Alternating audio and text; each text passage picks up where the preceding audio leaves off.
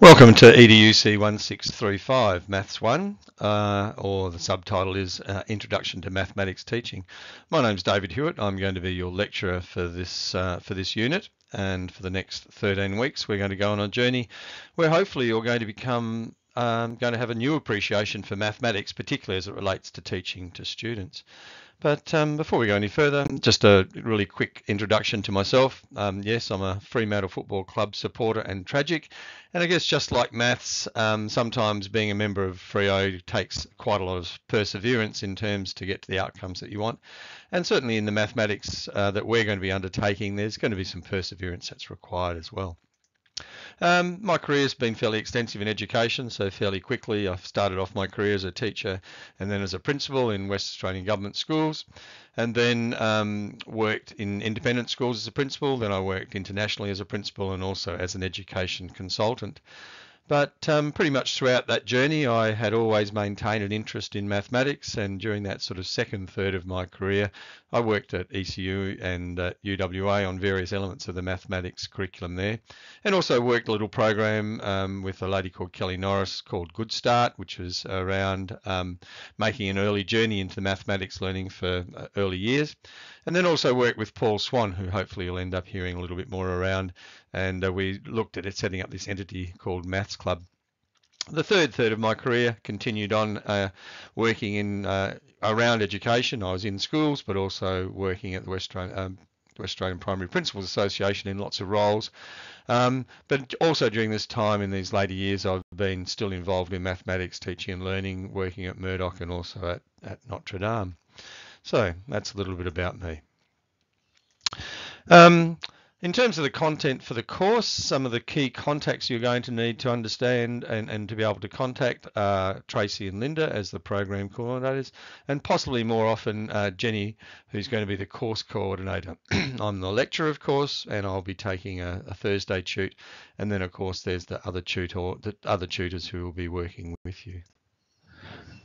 So now I've taken my uh, talking head off, we can now get into the content. So some of the key dates, now this is in your um, handbook of course, but just to, to reinforce, um, the lectures commence on Monday the 24th of July, or that week, and they end the week ending mon uh, the Monday the 23rd of October.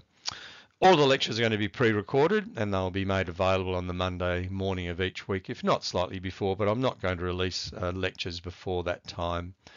Attendance at tutorials is vital. It's really important that you attend the tutorials. It's not just the fact of turning up, but there's lots of practical knowledge that you're going to be given and lots of opportunities to actually help you develop your own learning of mathematics as well as understanding the key pedagogies and methodologies involved in teaching mathematics. Um, you get rewarded by having a break week around the, the 18th of September. Now, the most important thing, I guess, not in my minds, but in students' minds, obviously, is around the assessments. And there are three parts to it. There's the presentation that you'll do uh, in week nine. There'll be more of that a little bit later. There's a competency test in week 11, and you'll get a chance to do some practices of that. And that's worth 25% of your marks. So that's a quarter of your marks there. And then there's an examination in that week 16 to 17 November. So having said that, this is not about assessment. Uh, my friend Paul Swan, who I spoke to you about earlier, he always said nobody ever got taller by being measured. So we're not trying to assess um, you overly here, but we do have to demonstrate that you're going to have some practical skills in the, the knowledge and teaching of mathematics as, as, as, as described in the handbook anyway. Uh, let's keep going. So some of the key content you're going to be covering, um, you're going to be looking at uh, the overview of mathematics and mathematical learning. We're going to be talking about what numeracy is. We're going to be looking at the curriculum as it's described for all Australian schools and particularly in Western Australia. We're going to be looking at this term called constructivism and what does that mean and how does it relate to the learning of mathematics.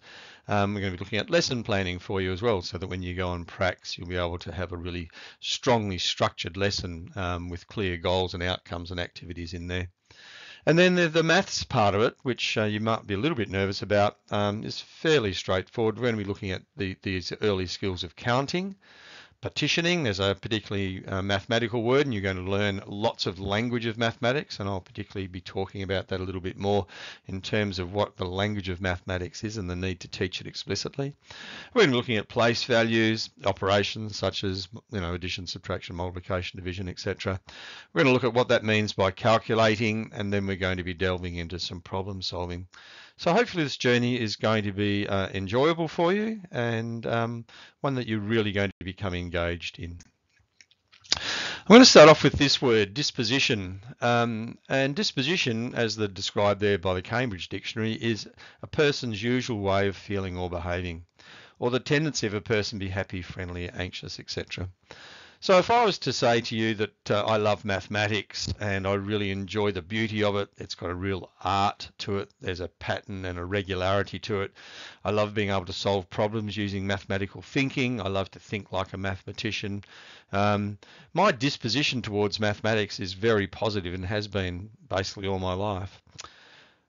I'm imagining that some of you, you might be uh, sitting there or standing there listening to this lecture, thinking coming into a mathematics lecture, and your knees might be shaking, you might be sweating, your heart might be beating really fast because um, perhaps you've not had a really strong uh, success rate, if I could put it that way, in in your own thinking of your description of you as a mathematical uh, learner or a learner of mathematics we've got to really start to put that aside because as teachers you're going to be going into the classroom and you're going to be teaching this subject of mathematics and you've got to bring a positive disposition to it because if you go into the classroom and uh, you know say to the students oh look don't worry I was never very good at mathematics. We don't expect you to be.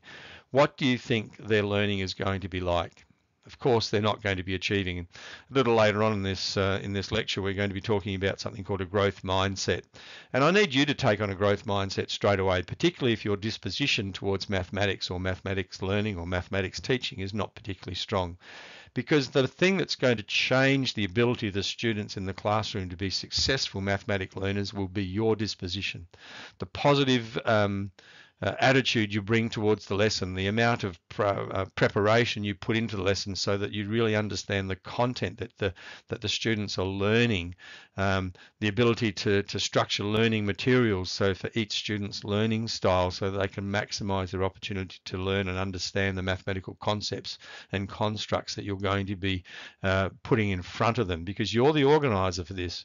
Yes, we want them to construct their own learning, but basically you as the teacher will be organising this. So for me, the most important thing that you can bring to this mathematics unit is a really positive disposition to learning, to understanding, to practicing, and actually to, to teaching the mathematics when it comes to that point. Can't underline this, this enough. Disposition.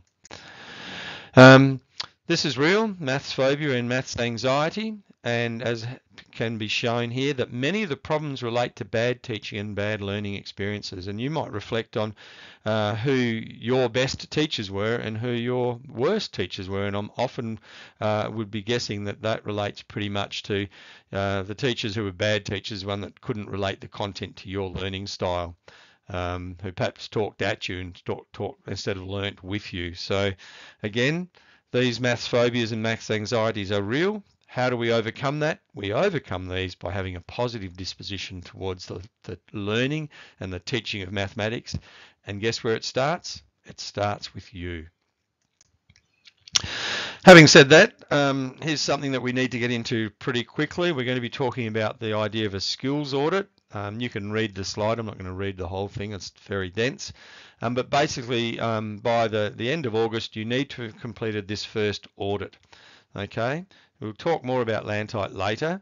It's uh, similar to Lantite, but the audit itself, this is for you. It contains 32 questions, which you have 60 minutes to complete. This is half the size of the Lantite test, which asks you to require, uh, answer 65 questions, but in two hours. This is a practice audit for you. Um, so the audit will be checked by us, your lecturers and your tutors, and if you don't reach the, the benchmark, which is 70%, you'll be notified that you need some help to be able to pass the competency test that comes later in the unit, which I described a little bit earlier. So this is your opportunity to practice your skills with assistance. And please don't be ashamed or embarrassed if there's some content there that you don't understand. Make sure that you talk to your tutor because we're here to help. We want you to really understand and be really excellent teachers of mathematics. And one of those um, um, things that you need to do is to be competent with the mathematics yourself. Now we're only talking about primary school, so we're not talking about calculus and differential equations, etc. So please don't get um, too ahead of yourself in this. So that's the skills audit. Um, it doesn't count towards your final mark, so I can hear a, a deep sigh of relief there. Um, so this is a practice test for you. Mixture of number and algebra, measurement, geometry, statistics and probability. And we'll talk about those terms, which are the strands in the mathematics curriculum a little bit later. Um, once you start this particular test, you have to do it in one sitting. You can't be reopened, so make sure you've got that time. You've got an hour to do it. And it will be accessed through Blackboard and clicking on the assessment tab. And we'll let you know, Jenny will probably let you know uh, when this is available to you. Okay, so why do we teach mathematics? What is the purpose for it in society? And one of the key things that we try to do with students is always, wherever possible, relate what the students are learning to their real life experiences. Sometimes is a little bit more difficult than others, but if we can connect the mathematics to what happens in their life, both outside of school as well as inside school, which means some cross curricular relationships, and obviously there's a strong relationship between mathematics and science and mathematics and music, etc. It makes those the learning for the students a little bit more connected to, to real world practice. So why do we teach mathematics? What I'd like you to do is just to write down five things that you've done today which have involved mathematics and or mathematical thinking. So I'll ask you just to stop the video and just write those things down, have a think about it, take your time, and when you're ready, just restart the video.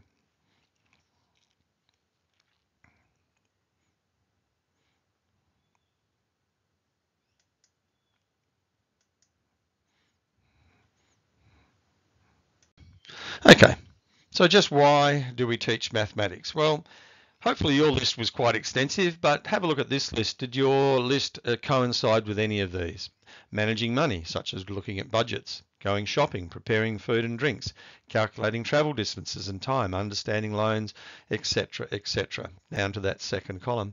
Now, what sort of things do we need to know? Well, of course, if we're looking at managing money, we need to know what the monetary values are, but there's also a sense of number and quantity in there.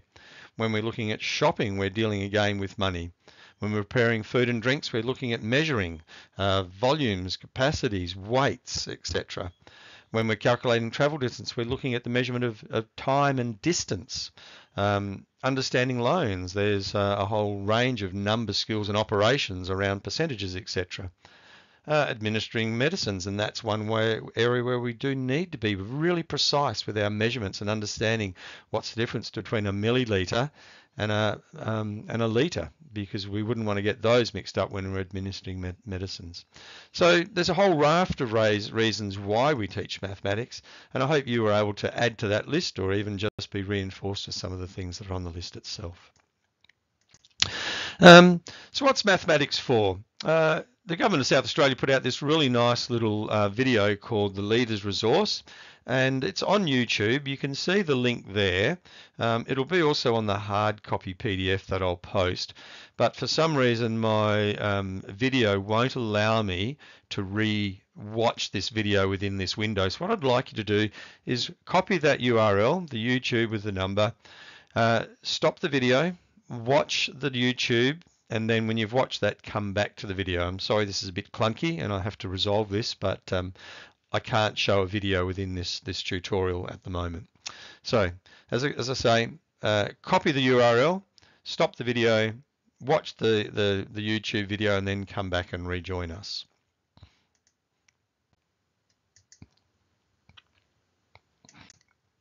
Okay, so I um, I hope that uh, that you got something out that video and you've got some understandings of what um, mathematics is about. So what are we saying is what is mathematics? Well, Handal and Herrington in 2003, a lot of years ago, 20 years ago, um, says we all have views about mathematics and these views shape our decisions about how we teach and learn mathematics. Again, if I take you back to that D word, disposition, if you've got a positive disposition towards teaching and learning mathematics, um, how's that going to compare if you've got a negative disposition towards that? So we all have views and opinions about mathematics. We've all had good and bad experiences with mathematics, both in school and our lives, even me. Um, and it's these um, these views which has helped shaped us, which then also shape us as teachers. And we need to be able to be conscious of that and cognizant of the, the impact that those views may well have on our students. Um, so what is mathematics? Well, it's got a whole pile of stuff that sits around it. It is certainly a powerful, precise and concise precise and concise means of communication. The language of mathematics, if you think about it, and I'll talk about it again a bit later, consists of lots of different elements. Uh, if we're learning to read, there's the sense of the letters of the alphabet, the way the sounds comes together in phonemes and digraphs, etc., the way they come together in words, and the words then come together into a sentence, and the sentence builds into a paragraph, etc., etc. But it's actually it's all based on the, the 26 letters of the alphabet. Whereas mathematics, the language of mathematics as a means of communication is much more broad. We've actually got the words, so one, um, O-N-E, three, T-H-R-E-E, but we've also got the number symbols for those, the one symbol and the three symbol. So we've got two different languages there. Then we've got a language using um, symbols such as the add symbol or the, the subtract symbol or a percentage symbol. Um, then we've got pictorial things like graphs. Um, that's also a language of maths and a communication. So it's a powerful and precise and concise means of communication using multiple languages, and we have to get our head around that. Mathematics is a reasoning and a creative activity, and it's going to be very difficult for us and students to reason and be creative if we don't have the language with which to reason and be creative. So that goes back to my first dot point. Uh, as a reasoning and creative activity, it incorporates processes of questioning, reflecting, reasoning and proof. It's a powerful tool for solving familiar and unfamiliar problems, and it's a 21st century skill. And it's about time we move past that because we're well in the 21st century now. But I wanted to just get back to this idea of it's a powerful tool for solving familiar and unfamiliar problems because often we think there's only ever a single solution for a mathematical problem. And that's not always the case. And hopefully we'll be able to break down that fallacy and that myth over these next 13 weeks. Um, yes, 3 plus 2 does equal 5, but uh, let's talk about how we can re-express that equation uh, as we develop our understanding of mathematics. So I just don't want you to think there's always only one single solution for mathematics, which is often what makes a lot of people scared about mathematics, that they're going to get it, and I'm putting my fingers up in inverted commas here, we're going to get it wrong. Nothing wrong with getting things wrong, that's a learning experience. What is mathematics? Let's keep going. Um, it's about engagement. Um, and again, your disposition will help the students achieve this. We need to get the students to a point where they feel they can be successful even when they don't succeed. So as I said earlier, it's not about being wrong as being wrong. Actually being wrong is an information feedback loop for us that we need to try again where there's another process, another strategy. Maybe we missed something in our initial um, problem solving process. Um, but we can't get students to feel that they're successful learners unless we provide that message back to them. We want students to be strong and confident mathematicians. We want them to think mathematically. We want them to be able to strategize mathematically and come up with reasons why they've chosen particular pathways or particular solutions. So again, it's up to us. It's our disposition and creating that positive disposition which then puts it onto the students themselves.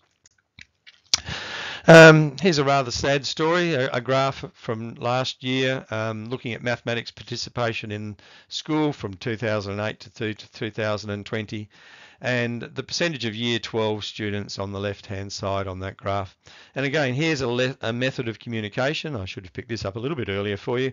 Here's a picture that we can see um, fairly steadily. If we look at the orange and we look from 2008 to uh, 2020, we can see that there's a downward trend.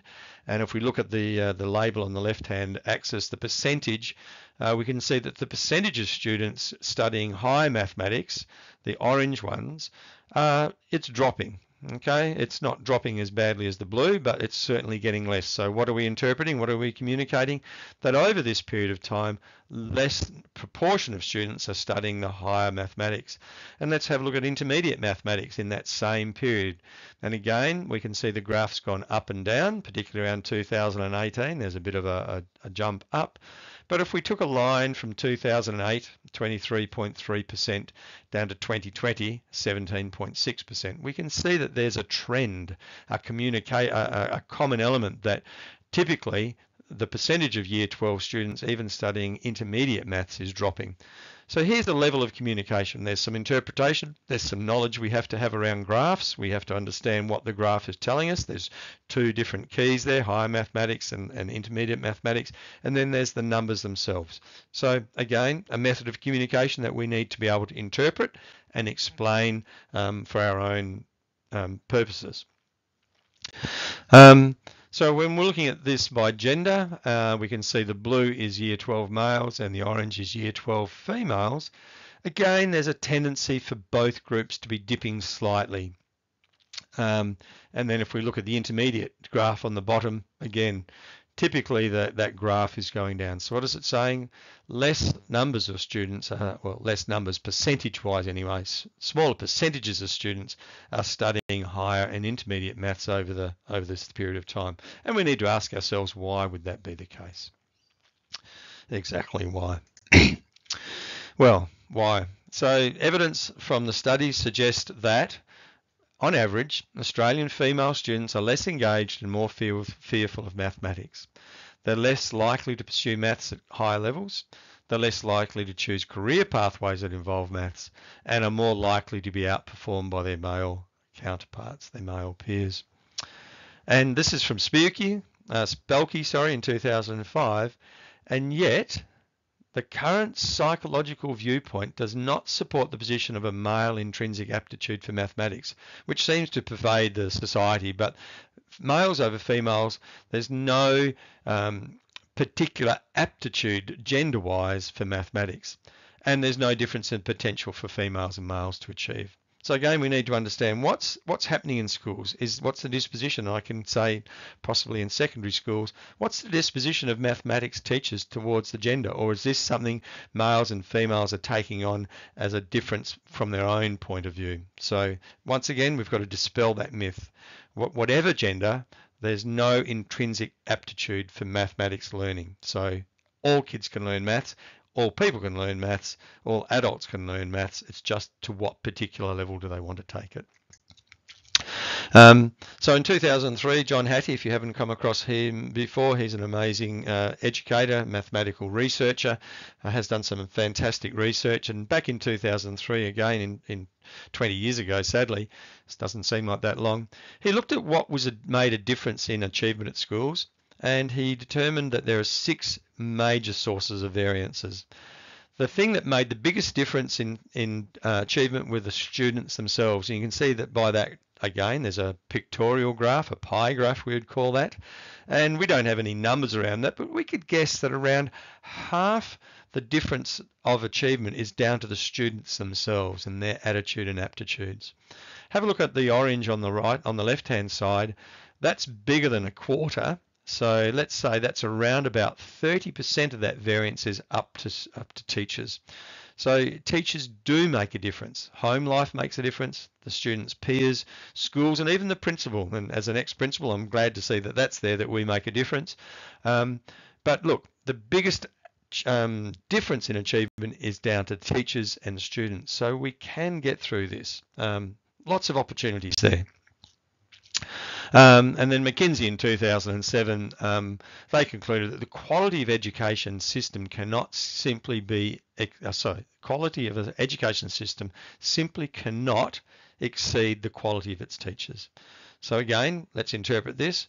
What they're saying is if the quality of the teachers are low, then the quality of the overall education system is, is consequently low as well. Whereas if we can have high quality teaching, high quality learning happening in the classroom, that lifts the quality of the education system as it's as it's as an entity. And um, the education system is very large, but even those small things, even if we can just get one teacher, if we can get all of you becoming really high quality teachers, that's going to then lift the quality of the education system, and that in turn is going to lift that quality of the students that we teach that are coming out of the system. So beside the students, um, what the student brings to the table, the biggest uh, achievement in the classroom is the teacher by a considerable margin. And I think that that pie graph uh, was able to demonstrate that. Again, how do we do that? And I'm just going to repeat these slides. Um, this is about disposition. So um, again, regardless of whatever experience that you're bringing to these lectures, positive, negative, or ambivalent, it's the disposition that you need to bring to your teaching and learning that will change the student's life. So if you can bring a positive disposition to your mathematics learning yourself as a student, if you can bring a positive disposition to yourself as a teacher of mathematics, that's going to have a huge impact on the ability of those students to succeed in your classroom. So your disposition is what's going to count the first step off. And we've seen in those previous slides how the quality of the teacher can influence the quality of the student outcome. And let's see how you go on your first shoot. Let's see if you can walk in those doors with that positive disposition, a big smile on your face looking, I love maths. And by the end of that first shoot, you're going to be walking out of the classroom saying, I love maths even more. Um, let's see if we can make that a reality. Um, don't need to go through that. Um, Westwood, uh, this is a really interesting quote. Uh, again, a little bit old now, but nonetheless um, really important. Uh, many intelligent people, after an average of 1,500 hours of instruction, if you can imagine how much that is, that's 50 weeks at least, uh, over 11 years of schooling, still regard maths as meaningless, for which they have no aptitude. It's difficult to imagine how a subject could have achieved for itself such an appalling image as it now has in the popular mind. To think all of our effort has led to a situation of fear and loathing is depressing. A long time ago, um, but still, as we say, there is a lot of uh, negativity around mathematics teaching and mathematics learning, and we've got to change that.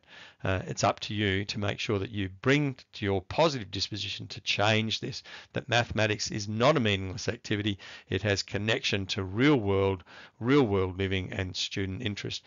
And there's also a beauty to mathematics. There's so much beautiful, beautiful mathematical art out there. There's uh, mathematics in music, etc. So in the creative arts, again, it's mathematics. It's not just number. Um, so here we go. Think about this again. Just think about someone who's good at maths, uh, someone who you admire, someone you'd look at and say, oh, they're really good at mathematics. What do they do to make you think they're good at maths? You might just want to stop this and pause and have a think about this. Um, I'll just take a, a two second break and have a sip of my cup of tea.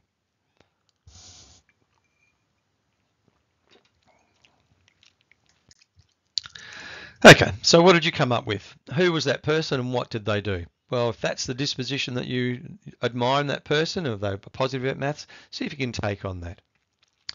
So um, pre-service teachers, as yourself, um, who love maths, I love that button, we should get them made, um, generally perceive maths as relating to numbers or problems and rules and procedures.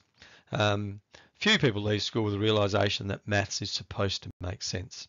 And again, that's going to be your role as a teacher to make sure that the learning of the students around the mathematics is sensible, is sense making and connected to the real world wherever possible. So how's it go so wrong? Uh, it's all a bit negative at the moment, but let's get on to positive stuff shortly.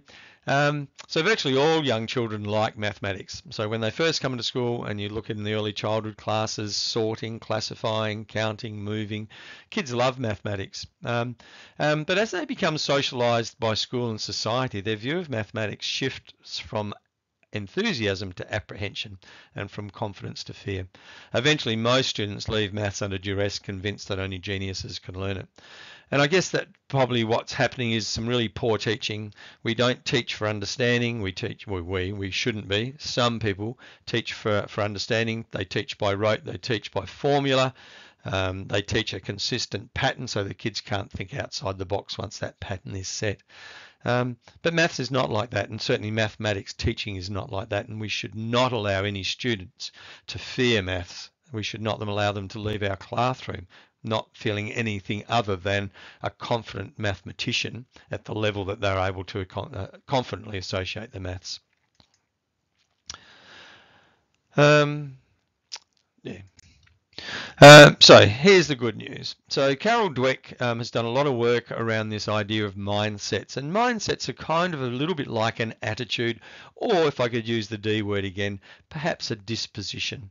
Um, so when students struggle with their schoolwork, what determines whether they give up and embrace the obstacle, um, or embrace the obstacle and work to overcome it. So, what mindset do you bring to your own mathematics teaching and learning? Do you are confronted with some mathematics in society or in your real life and go, "Oh no, it's too hard. It's maths. I was never good at it," or do you say, "Oh, here's a nice little challenge. Now, how am I going to work around it?"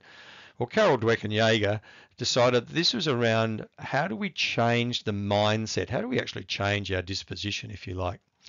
Um, so the research that showed that believing intelligence was fixed and unchangeable can lead students to interpret when they lack when they have academic challenges that sign they lack intelligence. Nothing is further from the truth. Students' mindset can be changed and that doing so can promote perseverance. Now, we're not talking about just simply, you know, awarding um, gold stars when they're not really deserved. That's not what this is about. This is actually making sure that the students have a mindset that when they are confronted with a challenge, that they have some strategies and some structures to work around or through that challenge and not just give up. So we've got to be careful that we don't misinterpret um, trying to overblow the, the praise in terms of trying to give a solution, if you like. Um, so these two implicit theories of intelligence uh, appear to create different psychological worlds for students, one that promotes perseverance and one that does not. Do we give up when we're faced with a challenge or do we see the challenge as something healthy and something that we should take on board? Well, obviously you, you know where we would be going uh, with this. So the fixed mindset is where the intelligence is fixed. It's not about your ability. Uh, it's a world of threats and defenses. So fixed mindsets believe that intelligence is fixed, that you can't uh, change, you can't grow your IQ. Well, that's that's that's wrong. However, a growth mindset, which we're promoting, is where intelligence can be developed. Everything, challenges, efforts, setbacks, are seen as being helpful to learn and to grow. It's a world of opportunities to improve. So I guess what we're rewarding here is effort, the ability to, to persevere rather than the result itself. So yes, persevering and working through a challenge and a problem and getting to a result is very much worth rewarding but so is that opportunity to try to ch- take on that challenge and try to work around it with some different strategies. That's also what we should be re- rewarding. It's the growth mindset. It's the idea that the students can develop their learning their intelligence with your support.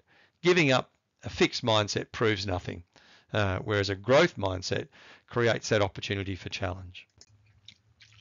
Um, so when we emphasize people's potential to change, potential to change, we prepare our students to face life's challenges resiliently.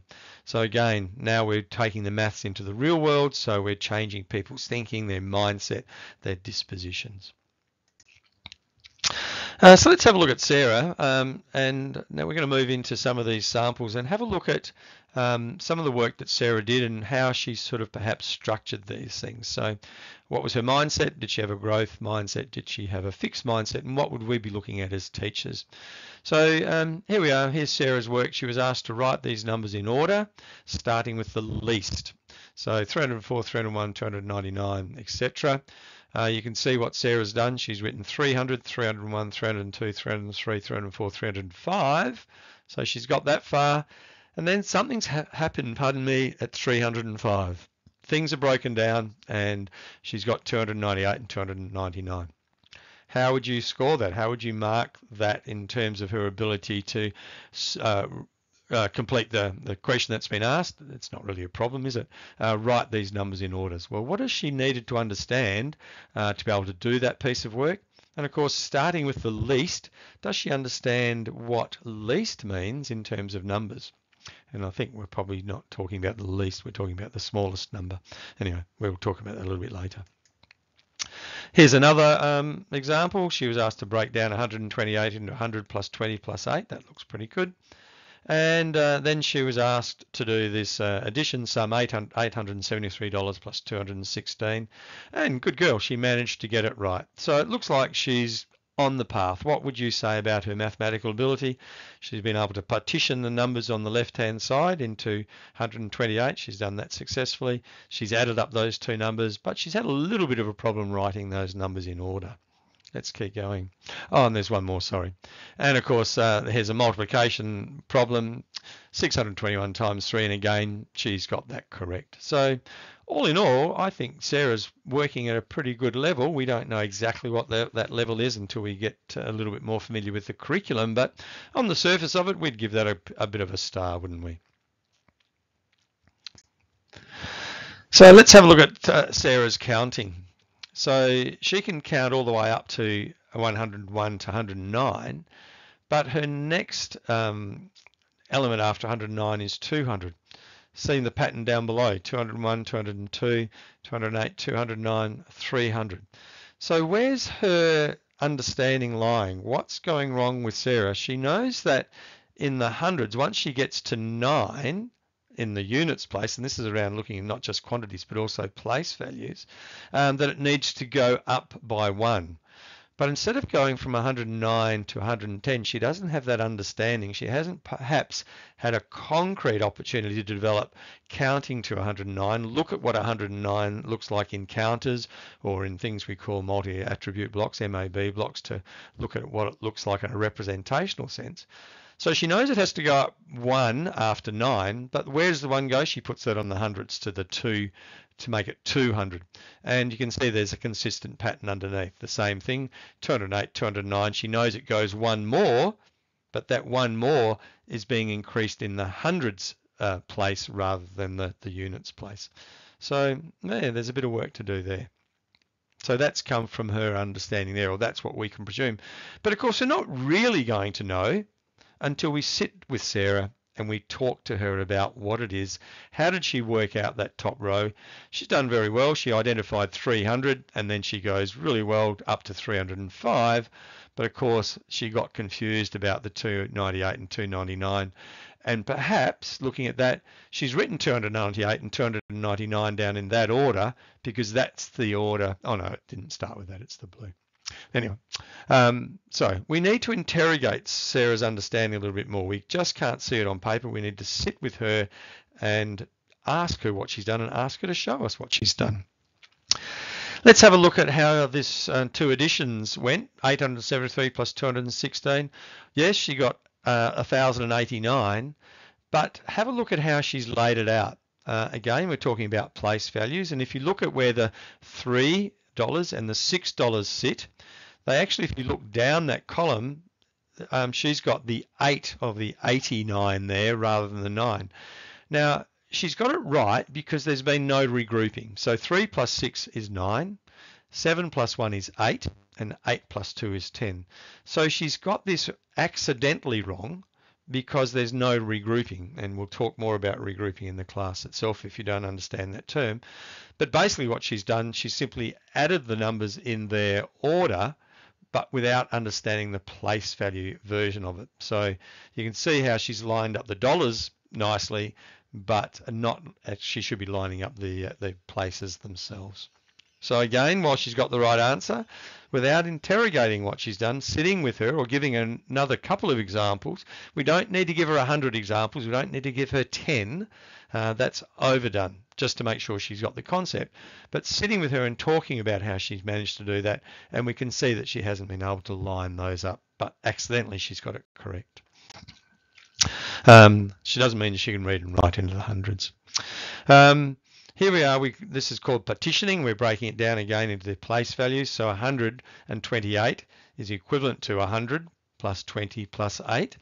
And it, she's got the right answer. She's been able to partition that three-digit number, but it doesn't mean that she knows um, the actual place values and the magnitude of the numbers as with the previous example. So even though she can partition those numbers, does she have a strong and robust understanding of the place values? And what does 20 mean in that 10, 20, that tens place? What does two tens mean?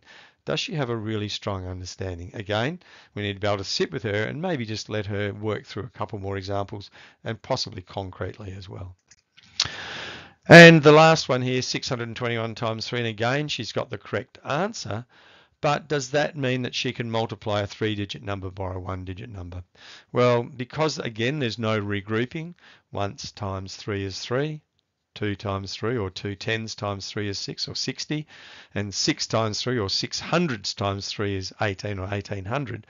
Because there's no regrouping, we can't be sure that she really is able to number uh, multiply a three digit number by a single digit number and again because she hasn't been able to align those um, numbers in their place value columns. I'd suspect she's got that wrong. Uh, she's got it correct more by accident than by knowledge. So we need again to sit with her, offer a couple more examples, but actually sit with her and see what she's doing. We can't tell just from a piece of paper. So while she got perhaps three of those four questions ostensibly correct, looking deeper, scratching the surface, we know that there's possibly a little bit more work we need to do with Sarah to make to, to ensure that her mathematics is is actually accurate. So, how do you now judge Sarah's mathematical ability? Are you seeing her through a fixed mindset where you um, are you seeing where she's going to go wrong and how you can fix it? Or are you seeing this through a growth mindset where you can see what she already knows and what she needs to know to further grow and improve. And of course, as we said, she's got some really good understandings there. She's got perhaps some misunderstandings that we need to work through. So is it my job to fix it as a teacher? That's the fixed mindset. Or is it my job to work with her, set the base and reward her for what she already knows, and then be able to use that knowledge to develop those next steps of the learning. That is really the skills of a really good teacher. Being able to know what the student has been able to do and what those next steps to be able to grow their mathematical learning understanding is. That's the skill of the teacher, and that's what we're going to be working through in these next 13 weeks and indeed over your whole primary course or your early childhood course. Um, so when students are learning the mathematics, uh, they use their existing knowledge and understanding to make sense of new ideas. And that's really important because that's where we give the students the confidence to be able to take on new challenges by recognizing and rewarding, if you like, what they already know and then building upon that knowledge. It's really hard, um, and I'll use an analogy of a brick wall, a bit like the, the picture on the right hand side. If we don't have a strong foundation for mathematics, if we leave holes in that wall, that first part of the puzzle, then eventually the mathematics, as we build up into higher layers, the mathematics will crumble. So we've got to make sure the students have a strong base we recognize what they already know, we recognize the base from which they're working, and then we add the next steps of development on top of that. Um, some students do misunderstanding, but it's seldom because they cannot understand. It's often because they understand something else. And we often, we do now use this term misunderstanding. We don't say the students are wrong. We look for the misunderstanding. We look where they're not connecting previous learning to the new learning. And we start from that misunderstanding. We build on in a growth mindset and we take the students on the journey to develop their learning. And in fact, this is for the modeling that we'll be using for you in, in the tutes as well. Um, so seven messages to give a student in uh, in a maths class. This is from a lady called Jo Boaler, who's a wonderful mathematician. We'll give you some links to her as well. Um, so everyone can learn maths to the highest levels. Again, about disposition mistakes are valuable and yes we do champion and uh, we champion making mistakes. We don't let students stop at making mistakes. Mistakes are communication and information for us. We know that we haven't got to the solution that we want so we need to keep working around that. And mistakes are really valuable in the feedback process. Um, and of course just going back to mistakes it's really important that you as a teacher practice and understand that as well that mistakes are valuable lessons Questions are really important, and I will always say, and you've probably heard it before, that the worst question is the one that's not asked. So I make sure that in a tutorial or even in these lectures, if there's anything you don't understand, please ask. There's no such thing as a silly question. The worst question is the one that's not asked. Questions are really important. Again, it's part of that feedback loop of being able to build your learning. Maths is about creativity and about making sense of your world. It's about creativity. It's not about there is about patterns. I'll talk to you about that a little bit later, but it's about being creative in that sense. Um, it's about connections and communicating. And again, the languages of mathematics are complex and we need to teach that directly so that the students can communicate the connections that they're making using appropriate language. Um, it's about learning and not performing. We're not creating a set of learning seals that can balance a ball on their nose in mathematics. It's about learning. It's about um, being able to be able to work through problems and resolve problems. It's being able to recognize what you can do and have an idea of what it is that you need to do in order to take those next steps forward. And here's the, the most important one for me that depth is more important than speed. It's really important to teach students in a particular concept to a depth rather than trying to race through a curriculum. And the analogy I used before, if we're building a brick wall, we can't leave any holes, any bricks missing on that first layer of the brick wall because the second layer of bricks isn't going to be as strong. So we need to make sure the student's understanding is deep in the concept that they're learning to the level of ability to understand that, of course, rather than being pushed by speed to get through material simply because, oh no, we haven't taught this yet, let's get onto that. It's better that they understand at depth than things at speed we don't, we cover shallowly and the students don't have a robust understanding. So those seven mindsets are really important from Jo Boaler. Everyone can learn to the highest level that they're capable of. Mistakes are valuable. Questions are vital. Maths is about creativity and making sense. It's about connecting and communicating. It's about learning, not performing. And it's about learning to a deep level rather than a fast level. And it's all about attitude. Again, disposition. If you feel good about maths, that's great. If you don't feel good about it, then suspend your feelings and allow new feelings to replace them.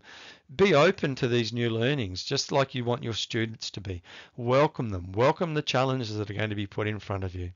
Um, and hundreds of students will tell you over time they've come to thoroughly enjoy teaching maths and working with primary maths. And I'm hoping by the end of uh, not just the 13 weeks, but by the end of this lecture, even by the first tutorial, that you'll be excited about the opportunities that are in front of you around teaching and learning mathematics. Um, so no excuses, none of these. I'm not good at maths. I'm, I'm a primary teacher. They don't need hard maths. I'm just EC. That's all rubbish.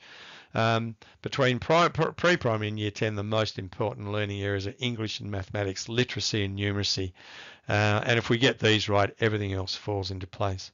Um, and you know, one of the worst things you can hear as a teacher is if a parent comes in and they say to you, "Oh, look, right. I was never very good at math, so I don't expect my child to be." You've got to cut that off right there and then because we don't want that child to carry the the, the parents' attitude towards maths into their own mathematical experiences. So make sure you've got some some responses to that. Um, so again, it's all about the big D, the big D for disposition. Bring a positivity um, and a growth mindset to your maths learning and your maths teaching. Um, so you're going to be a teacher of mathematics. You need to be committed and it's hard work. It's not easy. There's there's no resiling from this. It's hard work to make sure that you uh, get it right for the student students that you teach. It's not about beating yourself up if you don't. It's about understanding where you need to redo things or where you need to take them perhaps down a different pathway. You need to have an understanding of how you can be a mathematics an effective mathematics teacher, and we're going to support you with that. Uh, you need to understand how do children learn mathematics, and we're going to support you with that as well and you need to understand the mathematics you have to teach, and we'll be covering the curriculum elements of that. So um, pretty much all of that you're going to be getting from us, but you need to bring to your learning a positive disposition. Um, so in conclusion, uh, and as, as, it says, it's just the beginning really, uh, it's you. That you're going to be responsible for the sort of mathematics attitude, knowledge and skills that the students in your class will take into your into their life. It's your responsibility. It's a huge responsibility, but it's one that we can't underscore enough. Um, and I think I hopefully have nagged you so far that you understand what it is that I'm talking about. Um, so, will you be a teacher who views maths as a way of thinking, a tool, a problem solving process central to learning in everyday life? Or will you be a teacher who thinks maths is just content and facts and procedures to be memorized? Well, obviously, my hope is you'll be the former because as the latter, uh, you won't be doing the best service you can be to the students that you're teaching. So here we go. That's the end. I'm sorry it's a little bit longer than what normally would be. I try to make these around a half an hour, 35 minutes, but the first one was really important to get through all of those particular elements. Thanks for your attention and involvement. Enjoy your week. Most importantly, look forward to the, the first tutorial that's coming up. And uh, I look forward to uh, meeting my tutorial students on Thursday and the rest of you I'll see you again next Monday. Thank you.